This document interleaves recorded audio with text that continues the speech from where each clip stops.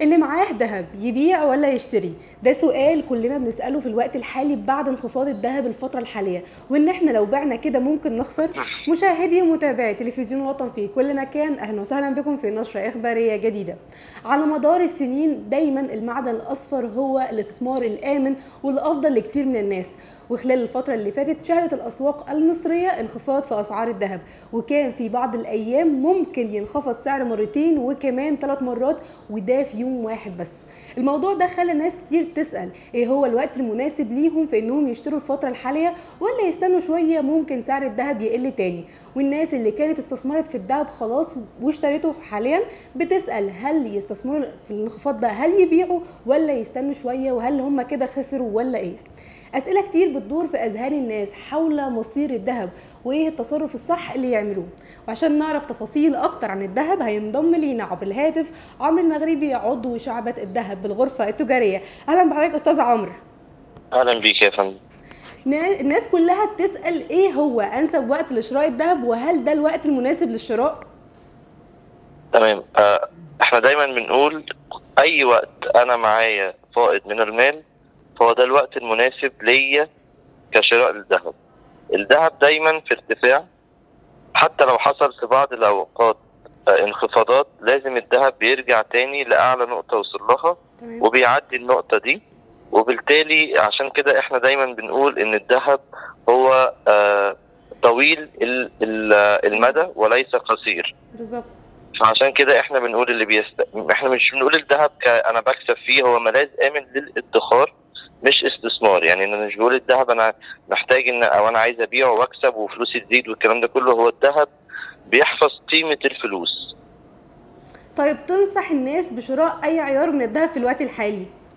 كل الذهب واحد العيار 21 زي ال 18 زي ال 24 لما ال- بيزيد ده بيزيد ده بيزيد هي بتبقى معادلة. إحنا بنحول من ده لده عشان نعرف سعر كل واحد لكن كلهم بيزيدوا بنفس النسبة وكلهم بيقلوا بنفس النسبة. إحنا بنقول للناس دلوقتي فرصة إن الذهب نزل جامد عن الفترة اللي فاتت. متوقع طبعا يبقى فيه زيادات كبيرة الفترة اللي جاية. ولكن فبنقول للناس دلوقتي فرصة الناس اللي حابة تشتري وتشتري مشغولات. يعني هي فرصة بقى إن أنا أشتري مشغولات. ال- الذهب بيبقى زينة وخزينة. بالظبط. ما اشتريش سبائك وجنيهات بس كده أنا حولته لخزينة بس حاجة مركونة في الدرج أو في خزنة عندي. فأنا بنقول للناس لأ هاتوا مشغولات زينة وخزينة عشان تس... على الأقل تستمتعوا بالفلوس بتاعتكم وفي نفس الوقت أنتوا حافظين قيمة الفلوس في الده. طيب أستاذ عمرو طيب ده كان بالنسبة للناس اللي هتشتري طب بالنسبة للناس اللي خلاص اشترت الفترة اللي فاتت تعمل إيه في الوقت الحالي؟ هل تفضل الذهب عندها ولا تبيعه ولا يعني استثمار الأصح ليهم بالنسبة للفترة دي إيه؟ هو إحنا بنقول محدش يبيع الذهب خالص حتى لو كان الذهب عالي جدا وغالي جدا برضه محدش يبيع الذهب إلا لو محتاج الفلوس ضروري. يعني أنا هبيع الذهب وآخد الفلوس دي هحطها في شقة هحطها في عربية بعمل مشروع أو محتاجها لأي ظرف طارئ. ده السبب الوحيد اللي يخلي الواحد يبيع ذهب. غير كده خلي فلوسك في الذهب هتفضل حافظة بقيمتها وبتزيد كمان. طب إحنا شفنا انخفاض سعر الذهب بشكل كبير وشكل ملحوظ وكان ممكن ينخفض سعره مرتين في يوم واحد بس. هل ده ممكن يستمر الفترة الجاية في الانخفاض؟ إحنا خلينا نقول إحنا كان إيه اسباب الانخفاض وكان إيه اسباب الارتفاع تمام. أسباب الارتفاع الفترة اللي فاتت كانت زيادة ال- الطلب على العرض. الفترة الحالية عندنا في بعد قرارات مجلس الوزراء بمقترح من شعبة الذهب ووزارة التموين بالسماح لل- للقادمين من الخارج بإن هم يدخلوا بذهب بدون فرض أي رسوم أو جمارك أو ضريبة.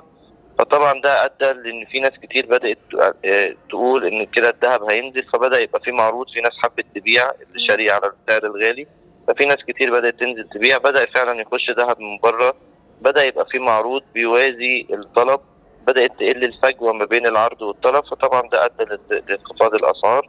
كل ده متوقع إنه يرجع يزيد تاني زي أي سلعة ممكن يحصل فيها عرض وطلب واختلافات في الأسعار. نشكر حضرتك جدا أستاذ عمرو المغربي عضو شعبة الذهب بالغرفة التجارية. شكرا جدا لحضرتك. شكرا. شكرا يا فندم.